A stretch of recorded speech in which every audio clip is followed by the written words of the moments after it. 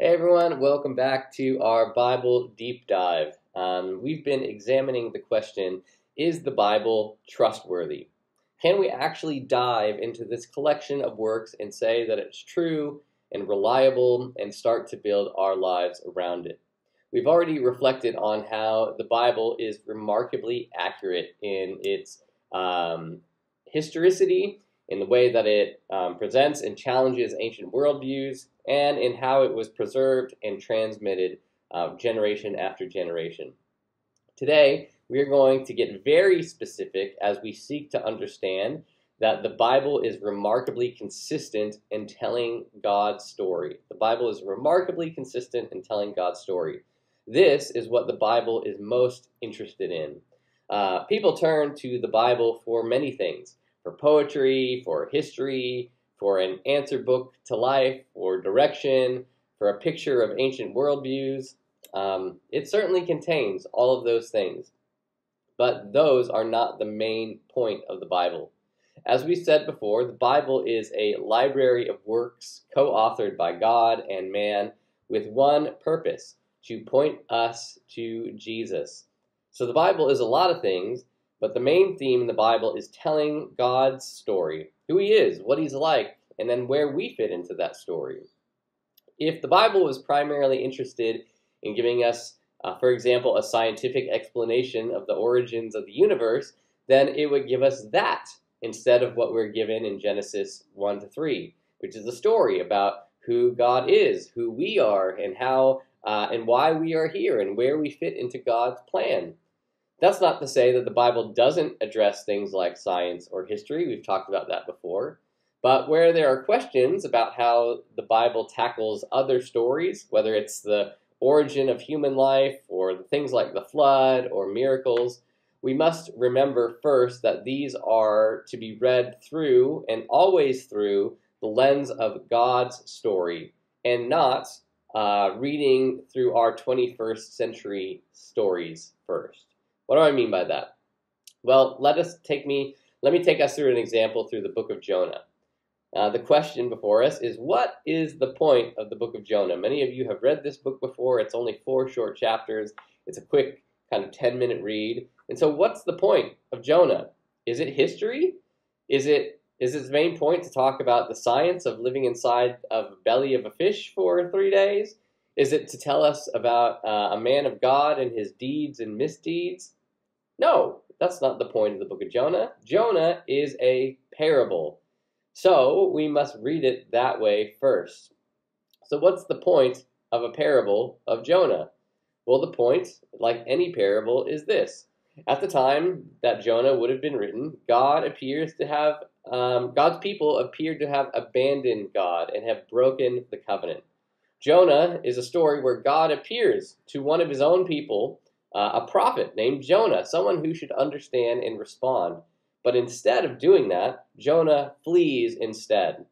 But he's unable to get away from God, and though he ran away and wanted nothing to do uh, with God, God watches over him, he saves him from drowning, and he deals kindly with him.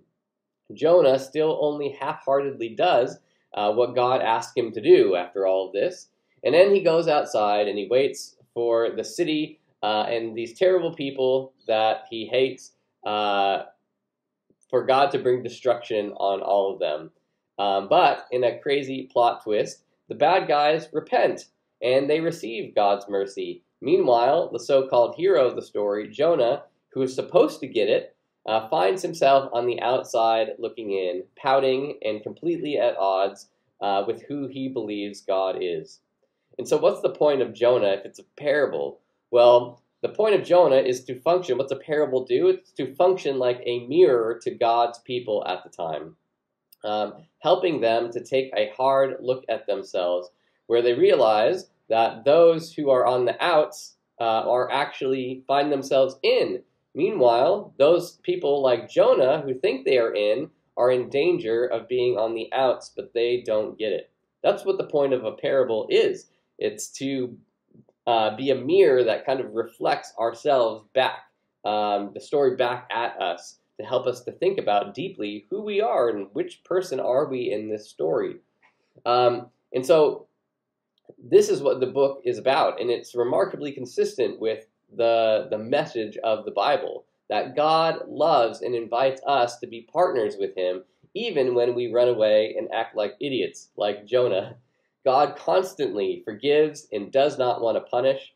Like Jonah, God still deals with us gently, even when our ways do not line up with His.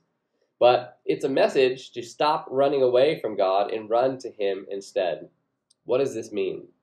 Well, it means that if we pick up Jonah and we demand scientifically how could it be remotely possible for a giant fish to swallow a man um, and he can live inside the belly of that fish for three days and even sing songs while he's in there um, and how silly and impossible that all sounds we have really missed the points of the whole book the point of the book isn't to explain the possibility of a man being swallowed by a fish um, and living the point is how God could possibly still love and forgive people who run away from Him. Which is more unlikely? This is what it means to read the Bible um, as seeing the Bible as consistent in telling the same story, God's story.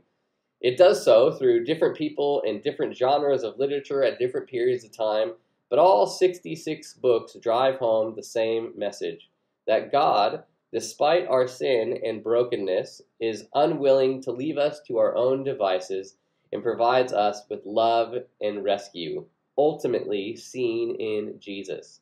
So we should be amazed that despite being written over thousands of years by different people at different times, the main message of the Bible is the same. As the Bible Project says, the Bible is a unified story that leads us to Jesus. Let me pray. Father God, we thank you that uh, your word is consistent in the one main story that it tells. There are certainly lots of other stories about how we got here and about science and history and poetry and how people lived back then, but more importantly, uh, God, your story is about you, uh, the God of the universe who created the world and everything in it, including us, and God, how despite our lack of love for you, despite our sin and brokenness and rebellion, uh, you uh, will go uh, to extreme lengths to show us your love and generosity and saving grace. And that ultimately is highlighted through the person of Jesus. So, Lord, we thank you that, uh, yeah, despite uh, so many different people at different times going through different stuff, they could have written anything um, and we would have had a completely different set of stories. But instead, we have all of these different stories that tell one main story the story of you and your great love for us. So we thank you that the Bible is trustworthy because it consistently tells that one story. So we pray that as we read it, we will read it with that lens and uh, to understand that each of these stories tells the one story. Thank you, God, for your uh, incredible word to us today. And we pray these things in Jesus' name. Amen. Thanks for joining us. We'll see you next time. Bye.